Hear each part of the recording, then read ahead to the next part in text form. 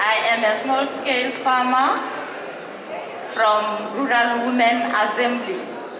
I've been invited this afternoon to come here and share with you why as women farmers we believe that uh, food sovereignty is important.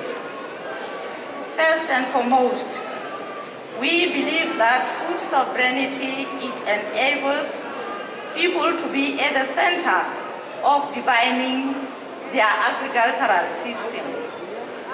Nosotros eh, en Guatemala como mujeres campesinas hemos enfrentado, hemos luchado, hemos lanzado la voz en cada espacio, incidiendo, reclamando nuestro derecho como ser humano, porque tenemos derecho de vivir en la tierra. Esas mineras ahora atenta contra la vida. ¿Cuántos niños con enfermedades hospitalizados? Aprender a convivir con nuestra madre tierra. Porque si nosotros vamos a ser cómplices de todos aquellos que están violando esos derechos, también no somos nada en esta tierra.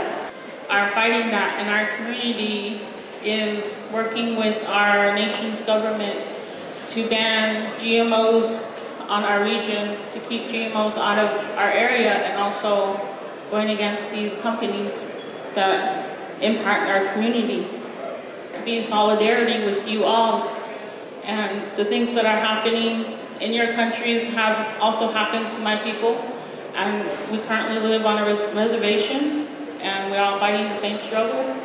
And we will continue that until we get back our food, until we get back our water, until Mother Earth is at peace. But what is happening in coastal areas, what is happening in fishing communities, is that tourism is developing. And as tourism is developing, we are depriving fishing communities their right to access fishing grounds because many nations, many states are in favor of tourism because its development as small-scale fisheries is just another bad way of uh, harvesting fish, which is not even regarded as development.